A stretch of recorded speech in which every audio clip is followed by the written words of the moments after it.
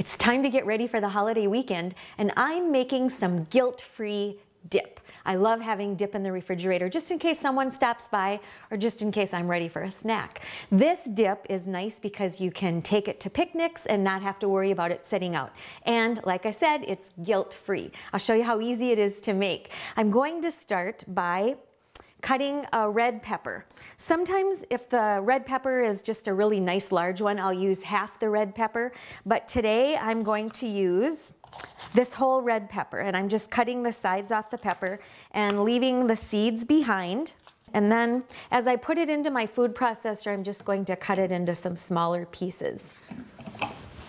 And now I'm going to add a quarter cup of sunflower nuts, sunflower seeds. And these are unsalted. If you use the salted sunflower seeds, you'll just need to add less salt to get it nice and flavorful. And then something that's a little bit different about this dip is that it has hemp seeds in it.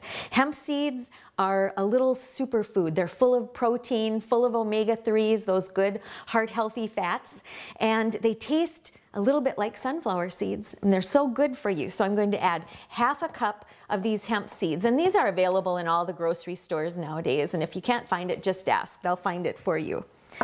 And then I'm going to put about three tablespoons of fresh lemon juice right into the food processor. And you could do this in a blender too if you don't have a food processor.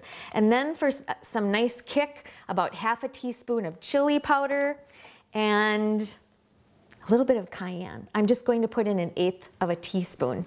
I can always add more if I want more. And then I'll start with a quarter teaspoon of salt. I can always add more of that too. And now we'll just process it until it's nice and smooth. And you can add this or use it as a dip with chips, fresh veggies, it's wonderful.